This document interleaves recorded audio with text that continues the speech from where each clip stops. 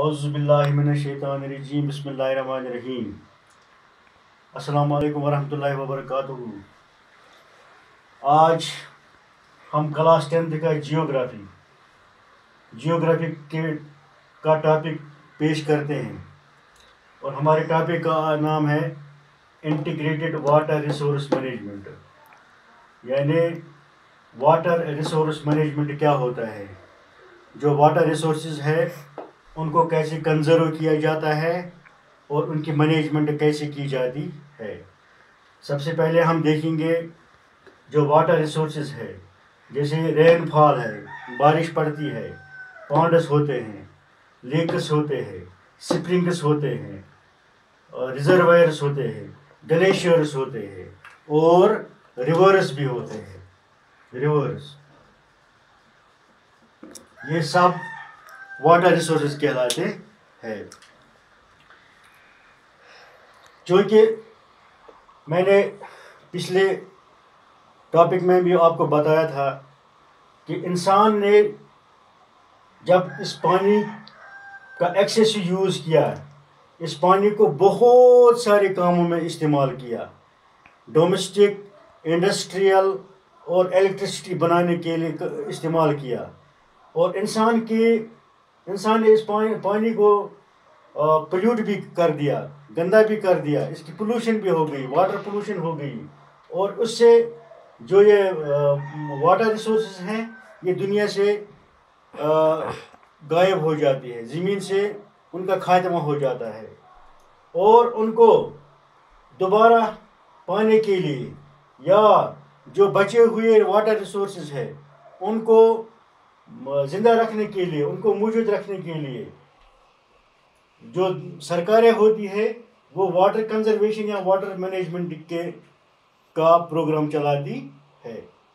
उसी water management का जो प्रोग्राम इंडिया में चलता है, वो डैम्स मतलब जो दरिया है, उनके ऊपर डैम्स बनाए जाते हैं। उन डैम्स को बोलते हैं मल्टीपर्पज़ रिवर प्रोजेक्ट्स क्या बोलते हैं? मल्टीपर्पज़ रिवर रिवर प्रोजेक्ट्स बनाए जाते हैं। ताकि इन डैमों के ज़रिए जो पानी होता है, उसको मुख्तलिफ़ तरीक़ों में इस्तेमाल किया जाता है। बिजली बनाने के के लिए इस्तेमाल की जाती है इरिगेशन के लिए इस्तेमाल किया जाता है। जो ये कंजर्वेशन ऑफ़ वाटर जो है वाटर मैनेजमेंट है। पुराने ज़माने में इसके लिए क्या किया जाता था? डैम बनाए जाते थे। जो पत्थर है, पत्थरों के ज़रिए एक डैम तैयार किया जाता था, ताकि इस पानी को, पानी जो होता था, दरियाओं का पानी, उनको कंजर्व किया जाता था। तो जो ये पानी है रिवर वाटर है, या बारिश का जो पानी है, इसको जमा रखने के लिए, इसको मौजूद रखने के लिए, इसको कर्व करने के लिए क्या क्या किया जाता है? ये डैम बनाया जाता है। तो फिर इस मल्टीपर्पज़ रिवर प्रोजेक्ट जो है, इसका जो पानी है, ये किस किस काम में इस्तेमाल किया जाता है? इरिगेशन यानी आबपाशी के लिए। इलेक्ट्रिसिटी यानी बिजली बनाने के लिए। फ्लड कंट्रोल यानी सैलाब को रोकने के लिए। इनलैंड नेविगेशन यानी जो ज़मीन के अंदर जो पानी की जो पानी है उसके ऊपर जो किश्तियाँ चलाई जाती है, उसके ऊपर जो जैसे समुद्र में नेविगेशन चलाया जाता है, इसको बोलते हैं इनलैंड नेविगेशन यानी ज़मीन के अंदर जो दरियाओं में वाटर बॉडीज़ जो हैं, उनके ऊपर जो नेविगेशन चलाई जाती है, उसको बोलते हैं इन इनलैंड नेविगेशन इसी तरह फ़िश ब्रीडिंग फ़िश ब्रीडिंग हो गया मछलियाँ मछलियाँ पालना. ये भी एक बहुत बड़ा काम है जो इन प्रोजेक्टों से लिया जा सकता है। इसीलिए इन प्रोजेक्ट्स को बोलते हैं multipurpose river projects multipurpose river projects उनकी मिसालें इंडिया में हैं। एक सतलुज बियास रिवर बेसन जो है, सतलुज बियास रिवर बेसन उसके ऊपर एक बाँध बनाया गया है, एक डैम बनाया गया है, उसका नाम है बाकरा नंगल डैम उस डैम का नाम क्या है? Bhakra Nangal dam Bhakra number, Nangal dam जो है, ये बिजली बनाने के काम आता है और इरिगेशन के लिए भी काम आता है। ये इसका मतलब इस काम में इस्तेमाल किया जाता है। इसी तरह दूसरा जो प्रोजेक्ट है, महानदी बेसन। महानदी बेसन जो है उसके ऊपर एक डैम बनाया गया, उसका नाम है हीराकुंड डैम। उस महानदी बेसन पर कौन सा डैम बनाया गया है? हीराकुंड डैम। और हीराकुंड डैम से भी इरिगेशन और इलेक्ट्रिसिटी और फ्लड कंट्रोल का काम लिया जाता है। तो जो कि जो मल्टीपर्पज़ रिवर प्रोजेक्ट्स जो इंडिया में लॉन्च किए गए आज़ादी के बाद आफ्टर इंडिपेंडेंस इनको लॉन्च किया गया इंडिया में। आ, उस वक़्त के जो प्राइम मिनिस्टर थे पंडित जवाहरलाल नेहरू। पंडित जवाहरलाल नेहरू ने इनको क्या कहा? डैम्स और temples of modern India dams जो है ये मॉडर्न इंडिया के मंदिर के बराबर है मंदिरों के बराबर है। उनको उनको रुतबा दे दिया दिया गया। तो इस, इनका मकसद क्या था?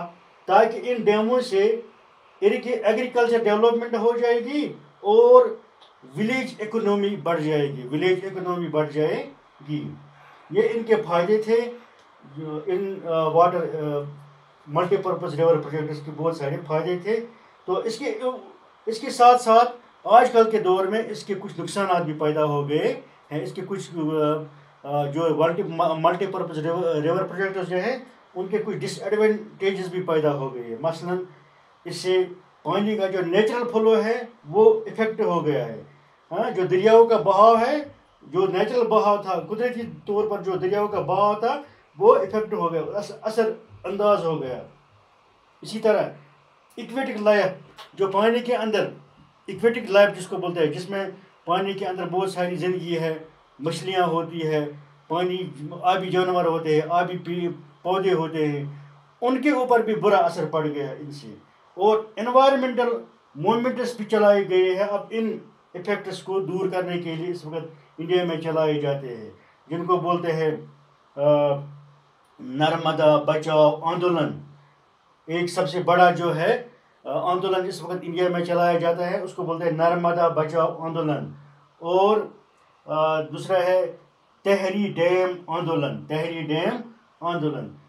जो कि इनका मकसद यही था, यही है इन आंदोलन को चलाने के लिए, क्योंकि जो डैम है कि इस वक्त अनसक्सेसफुल है किसमें फ्लड कंट्रोलिंग में। फ्लड कंट्रोलिंग में ये डैम जो है, ये अनसक्सेसफुल है, यानी ये कामयाब नहीं हो रहे हैं। तो आज का ये टॉपिक हम यहाँ ही ख़त्म करते हैं। असलकुम